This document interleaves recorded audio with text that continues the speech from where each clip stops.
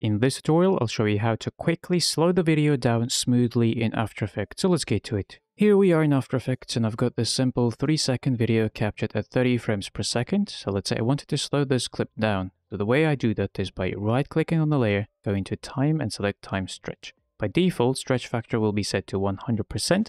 If you increase this value, you'll slow the clip down, or if you decrease it, you'll speed it up. I'm going to set it to 250%, then click OK and you'll notice that the 3 second video is now 7.5 seconds. That's because we've slowed it down and it needs to get stretched.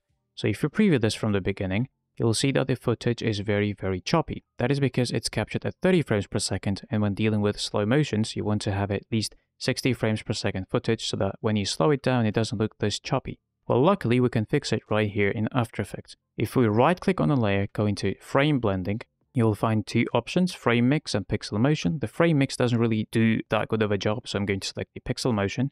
And this is where the magic happens. So if you preview this from the beginning, it will probably be very slow for you because it needs some time to get rendered. So wait for this green bar to fully load until you do the preview. That's because After Effects needs to generate all those extra frames to fill in those gaps so that the footage doesn't look choppy and looks very smooth.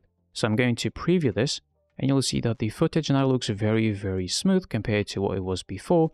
And this method has its own limitations, but generally it does a really good job at smoothing out the footage that has been slowed down. And that is one of the quickest ways you can create smooth slow motions right here in After Effects. I hope you enjoyed this quick tutorial and learned something new. Thank you for watching. See you in the next one. Peace out.